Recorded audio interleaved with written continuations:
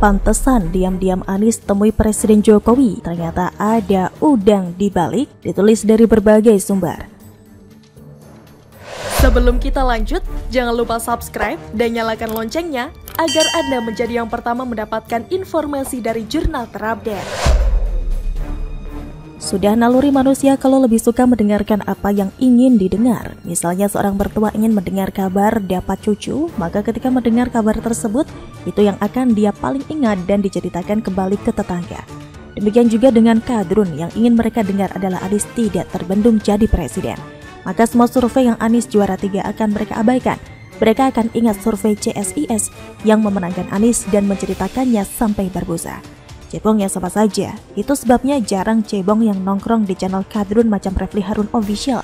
Cebong yang nongkrongnya di Siwot dan Cokro TV. Kalau bukan karena kepentingan sendiri, mayoritas manusia seperti itu. Beda kalau misal pengamat politik, mau gak mau biar objektif akan mendengarkan berbagai berita, baik yang disukai atau tidak disukai, walau tetap ada kecenderungan berita mana yang akan paling diingat dan jadi dasar argumentasi mereka nantinya. Maka ketika Anies bertemu Jokowi, tentu Jokowi juga hanya akan mengingat dan menceritakan hal yang ingin dia dengar dari Anies. Toh, ini bukan kepentingan Jokowi kan? Apa juga pengaruh mantan gubernur buat kepentingan nasional? Bukti pertemuan ini tidak penting dan tidak ada urgensinya buat Jokowi. Adalah fakta bahwa pertemuan ini diundur satu minggu dari jadwal sebenarnya. Jokowi mengatakan Anies sebenarnya meminta izin untuk bertemu pada minggu lalu, namun pertemuan itu baru bisa terrealisasi sore.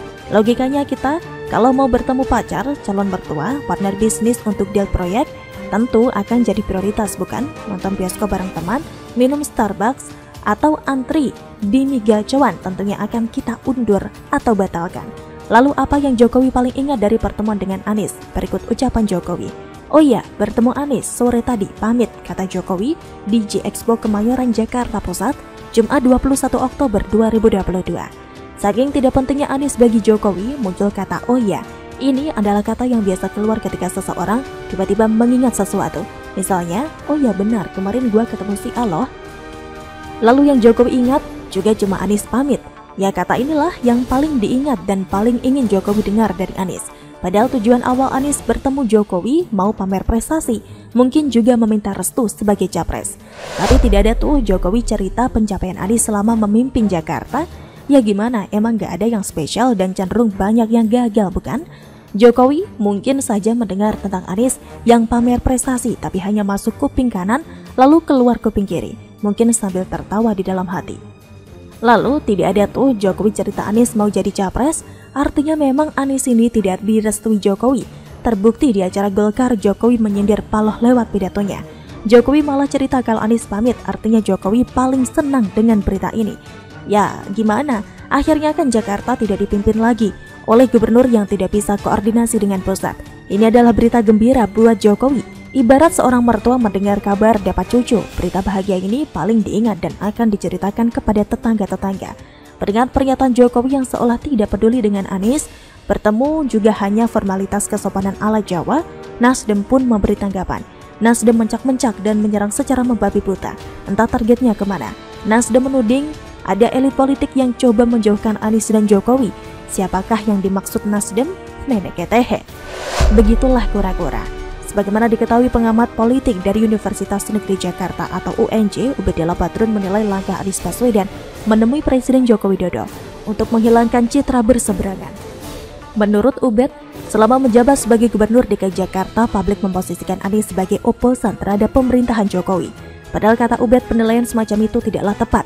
Pasalnya Anies dan Jokowi sebenarnya tidak berseberangan, justru keduanya dekat. Ketika kini Anies berkomunikasi dengan Jokowi, tentu saja secara politik itu juga strategi untuk mengurangi citra bahwa Anies berseberangan dengan Jokowi kata Ubed kepada wartawan di Jakarta Jumat 21 Oktober 2022. Ubed menjelaskan Anies sebagai calon presiden perlu menghilangkan citra berseberangan dengan Jokowi itu, sebab Anies butuh simpati dan dukungan dari semua kalangan masyarakat, termasuk pendukung Jokowi untuk bisa memenangkan Pilpres 2024.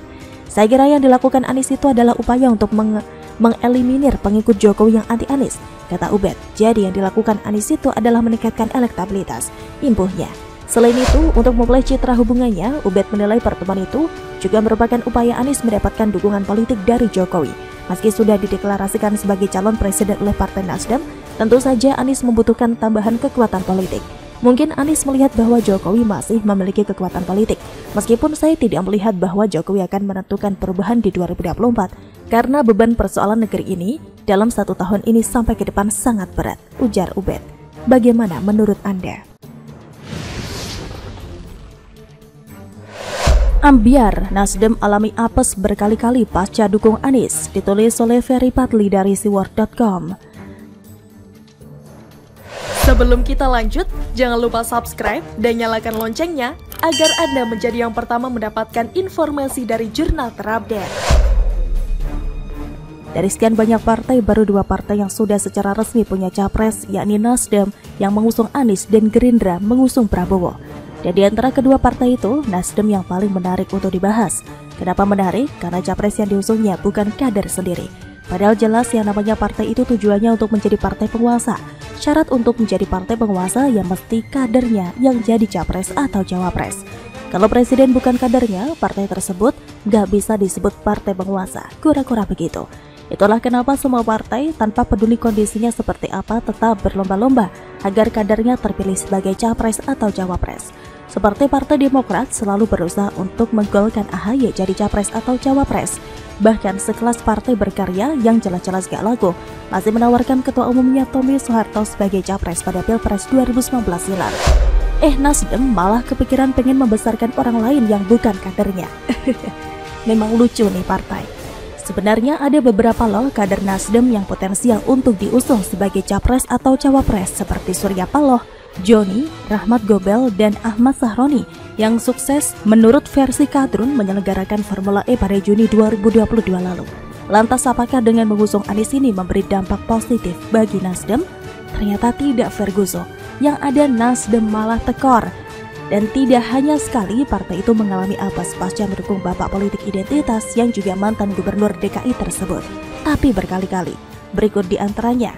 Satu, ditinggalkan banyak kader yang namanya partai tentu pengen punya kader sebanyak-banyaknya, karena besar atau tidaknya suatu partai itu juga ditentukan oleh jumlah kader. Perhatikan saja Partai Demokrat yang kadernya Andi Malarangeng, jelas-jelas koruptor, masih juga dipertahankan. Itu supaya jumlah kader tidak berkurang. Sedangkan Nasdem beberapa hari ini ditinggalkan oleh banyak kader, mulai dari perancang sepatu kenamaan Nilu Jelantik yang keluar dari partai itu hingga Frederick Lumalente dan Panji Astika termasuk Sekretaris DPC Nasdem Kecamatan Jekulo, Kudus, Jawa Tengah, Andreas Acuy Simanjaya juga mundur dari partai tersebut. Mengingat apa yang dilakukan oleh tim ses Anies di Pilkada DKI 2017 lalu, main isu SARA begitu mengkhawatirkan. Sementara hingga saat ini tidak ada satupun kadrun yang mau bergabung ke Partai Nasdem. Entah kenapa orang-orang macam Geis Khalifa, Dr. Tifa, Musni Umar dan Novel Bamukmin enggan masuk ke partai itu Apakah mereka sudah tahu bobrok Nasdem yang sebenarnya sehingga lebih memilih bukan kader parpol daripada bergabung ke partai yang gagal perestorasi Indonesia tersebut? Jadi bisa dibilang nasib Nasdem sekarang mirip partai umat yang juga banyak ditinggalkan kader. Dua, diusir dari koalisi parpol pengusung Jokowi. Hal ini disampaikan langsung oleh Surya Paloh bahwa ada pihak yang meminta presiden agar Nasdem ditendang dari kabinet. Dan itu sangat wajar sih mengingat capres yang didukungnya tersebut selama ini berlawanan atau antitesa dari pemerintah pusat. Di samping itu, para pendukung Anies yang lain seperti PA212, ex-kader HTI serta kadrun yang lain sering banget menjelek-jelekan pemerintah dan memfitnah Jokowi di medsos. Orang-orang macam inilah yang akan bekerja sama dengan kader Nasdem pada Pilpres 2024 mendatang. Nah, kalau seandainya Paloh punya malu dan tahu diri, seharusnya mundur dong. Tapi karena doi muka badak, Peluang yang ada diembat semua. Kursi menteri mau dan mendukung orang yang selama ini dikenal dekat dengan kelompok kadrun juga mau. Kan gak ada akhlak itu namanya. Hanya saja kalaupun Nasdem tetap bertahan di koalisi pengusung pemerintah, cepat atau lambat kadernya juga akan didepang dari kursi menteri. Apalagi selama ini anak buah Surya Paloh yang jadi menteri prestasinya biasa-biasa saja. Makin tidak ada beban presiden untuk melepaskan mereka. Tiga, disindir telak oleh Presiden Jokowi di acara Golkar. Ini yang sebenarnya bikin Paloh kehilangan muka. Pasalnya, ia dibikin malu oleh presiden di depan orang-orang rame, yakni di depan acara ultah Golkar. Jadi, beberapa waktu yang lalu Presiden Jokowi dan Paloh sama-sama diundang di acara partai berlambang pohon beringin itu. Coba bedanya, Presiden diminta untuk menyampaikan sambutan, sedangkan si brewok tidak. Saat menyampaikan sambutan itulah Presiden mengskakmat Paloh secara tidak langsung. Orang nomor satu di Indonesia tersebut mengatakan, Golkar kalau menentukan capres jangan sembrono dan jangan pilih orang yang hanya bisa berjanji tapi tidak bisa menepati. Jelas terlihat dari pernyataan itu, meskipun Presiden tidak bisa langsung menyebutkan Nasdem yang mengusung Anies merupakan perbuatan sembrono bikin paloh tersinggung. Hingga si brewok pulang lebih awal di acara Golkar itu. 4. Elektabilitas Nasdem turun drastis. Inilah kata orang, untung tidak dapat diraih, malang tidak dapat ditolak. Bukannya dapat dukungan dari kalangan kadrun, elektabilitas Nasdem malah semakin turun pasca partai tersebut deklarasi mengusung Anies. Setelah resmi mencapreskan Anies, elektabilitas Nasdem makin terpuruk hingga di bawah parliamentary threshold atau ambang batas parlemen atau 3,8 persen. Ujar Direktur Eksekutif New Indonesia Research and Consulting Andreas Nuryono yang lembaganya pada bulan Oktober ini baru saja menggelar survei. Cukup signifikan juga ya dampaknya bagi Nasdem. Kasihan kalau partai ini nantinya jadi partai gurem beneran. Siap-siap saja jenggot paloh ubahnya semakin banyak karena begitu stresnya dia mikirin partainya. Belum lagi ditambah dengan belum ada kesepakatan antara Nasdem, PKS, dan Partai Demokrat untuk berkoalisi dalam rangka mengusung Anies karena masing-masing partai tersebut berebut pengen dapatkan kursi cawapres makin ambiarlah Nasdem. Hanya saja itulah resiko yang harus dibayar kalau ngusung pelaku politik identitas dan main dua kaki. Langsung dijauhi orang. Terbaru pegiat media sosial Denis Regar memberikan sindiran telak saat Nasdem tegaskan Anies Baswedan akan melanjutkan pembangunan era Jokowi. Kiki kiki kiki, percaya aja deh biar cepat, cuy Denis Regar melalui akun Twitternya. Ambiar, bagaimana menurut Anda?